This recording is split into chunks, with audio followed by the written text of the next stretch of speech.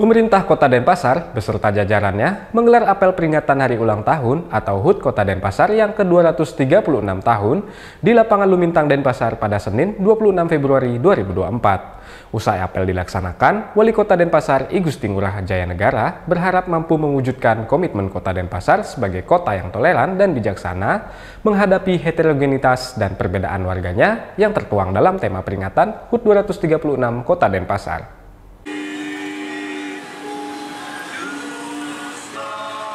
Memperingati hari ulang tahun Kota Denpasar yang ke-236, pemerintah Kota Denpasar beserta jajarannya menggelar apel upacara bendera di lapangan Lumintang Denpasar pada Senin 26 Februari 2024. Dalam apel tersebut, hadir Wali Kota Denpasar, I Gusti Ngurah Jaya Negara, yang sekaligus menjadi inspektur upacara, serta turut ditemani oleh sang wakil IKD Agus Wibowo. Meski sempat diguyur hujan, semangat seluruh peserta dan tamu undangan tak surut dalam memperingati HUT Kota Denpasar tahun ini yang bertemakan Aji Binaya menuju Denpasar Maju.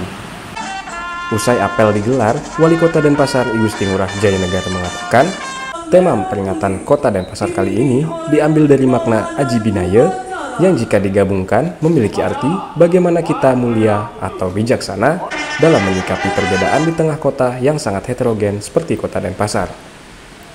Jaya Negara berharap mampu mewujudkan komitmen Kota Denpasar sebagai kota yang toleran dan bijaksana, menghadapi heterogenitas dan perbedaan warganya.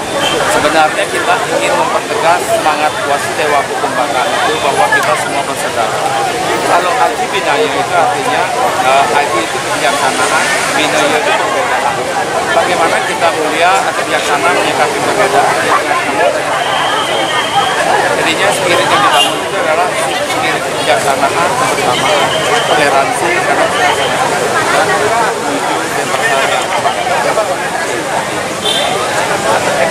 Sementara itu, Wakil Wali Kota Denpasar, IKD Agus Aryo Wibowo menambahkan, pemerintah Kota Denpasar bertekad untuk mempercepat program-program Pemkot Denpasar dalam melayani seluruh warga Kota Denpasar sesuai dengan visi dan misi dan semangat Wasudewa Kutumbakam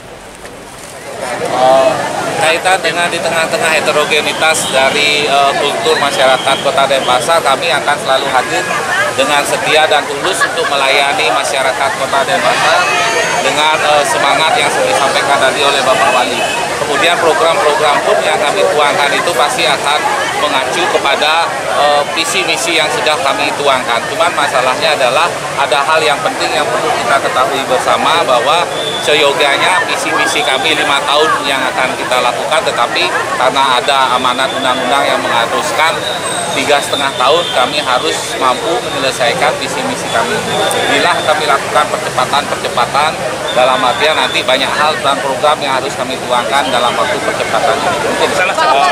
Lebih lanjut, dalam kesempatan tersebut, dua pemimpin kota Denpasar tersebut tidak menampik bahwa masih ada sejumlah tantangan dalam membangun kota Denpasar menuju kota yang maju. Tantangan tersebut di antaranya adalah masalah sampah, kabel-kabel listrik, dan telekomunikasi di perkotaan yang masih semrawut, hingga pelayanan penyediaan air minum yang lebih optimal.